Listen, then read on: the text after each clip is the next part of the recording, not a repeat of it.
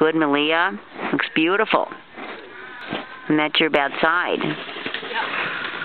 Yep, very good. That looks lovely.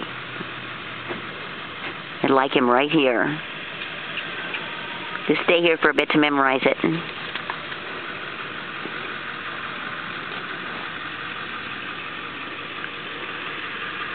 Then out of this big, big, big trot, when you're ready, whenever he's ready, gradually into canter, but out of this big trot. So take your time. Don't say when to canter, just let him know he can canter anytime. Just stay with his feet. Step in your stirrups. So he really pushes off from behind so that instead of lifting with his front end, he propels himself into the canter with his hind legs. Give him a moment here before you canter because he's busy.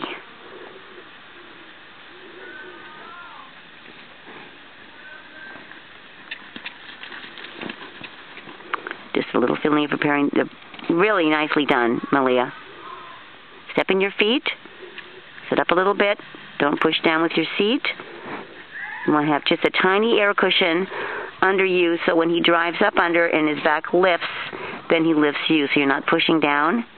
Collect, you're just collecting the front feet a little bit in time with the steps.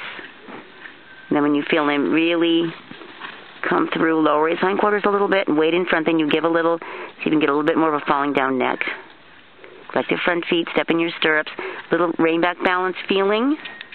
It's okay. It was good. And then then you give a little bit and see if he'll just reach. Collect your front steps again. A little bit more. Keep the hind legs coming though.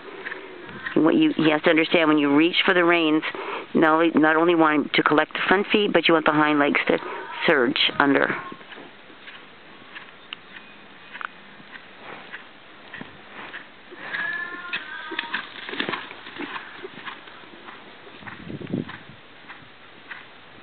Come a little more out with your your right rein.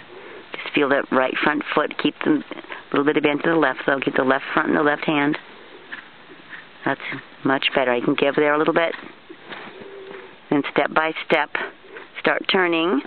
Step by step, collecting the front feet. Begin turning in until he trots.